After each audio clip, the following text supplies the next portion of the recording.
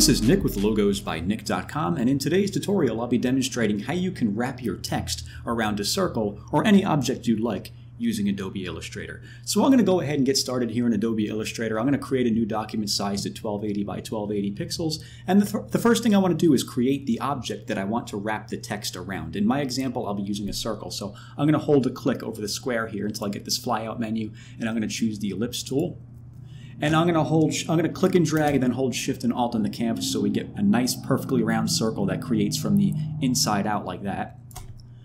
And then I wanna center this up on the page. So I'm gonna go over here to where it says window and make sure you have the align uh, window open. With the align window open over here, I'm gonna set the align to, I'm gonna set that to artboard. And I'm gonna center it up on the vertical and horizontal axis like that so it is perfectly lined up on the page. And what I want to do now is hold a click on the text tool up here until we get our flyout menu, and I want to choose Type on a Path tool. Click on that, and then click on the path right here, and it's going to put some default text around that path there. You may not be able to see it because it's really, really tiny by default on my, on my setup, but there is some really tiny fonts there. So what I'm going to do is click on this drop down up here, and I'm going to choose the font I want to work with.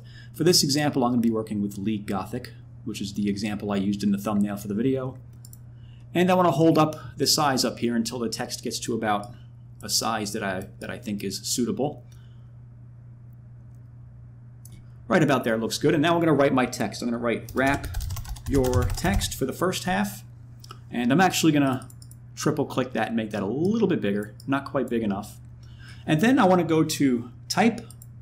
And where it says type on a path, I'm going to choose uh, type on a path options, and I want to click on the preview menu right here. And where it says align to path, I want to choose center because I want the text going through the center of the path right here like that. And then I'll go ahead and click OK. And what I want to do now is I want to put a little bit put a little bit of spacing between those letters because they're a little too close together. So I'm going to hold Alt on the keyboard and click right on the arrow key a couple of times until it has a nice spaced out, uh, a, a nice spacing like that. And what I want to do now is just adjust the position of where the text is on this circle. So I'm going to come over here and click on the uh, direct selection tool. And you're going to notice this little line right here. I'm just going to click and drag that line and rotate the text around until it's right about where I want it, which is right about there. You could play with it a little bit if you'd like and get it get it to look precise. I'm just going to leave it there, just uh, you know, a rudimentary placement for this tutorial. And I'm, what I want to do now is create some text going along the bottom here. So I'm going to grab the select tool and I'm going to click and drag this text and then hold Alt so it creates a copy of it and puts it over here. And then I'm going to go back to the text tool, triple click on the text right here to highlight it, and I'm going to write the bottom half of the text, which will be around a circle. And what I want to do now is get this text going around the bottom of the circle like that. So to do that, I'm going to go back up here to where it says type and go to type on a path. And I'm going to choose type on a path options.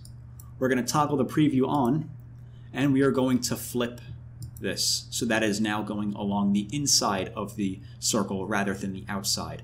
And I'll go ahead and click OK. And now I just want to align this on the artboard as well. Let me go back to the uh, let me go back to the selection tool, and now I can align this on the artboard. And let me go back to the direct select tool over here, and then just take this line and just rotate this around until we have a nice placement on the bottom here. And you may have to play around with this a little bit.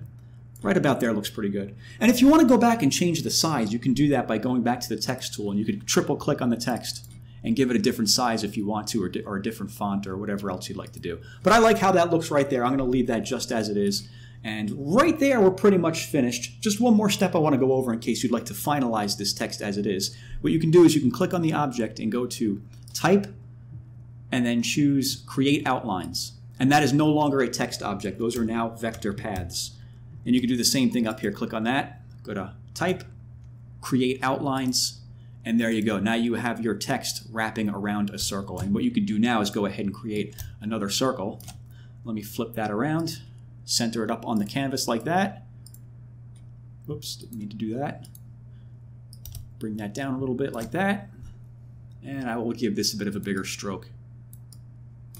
And there you go. That is how you can go about wrapping your text around a circle or any object you'd like using Adobe Illustrator. If you have any questions, let me know. And as always, thanks for watching.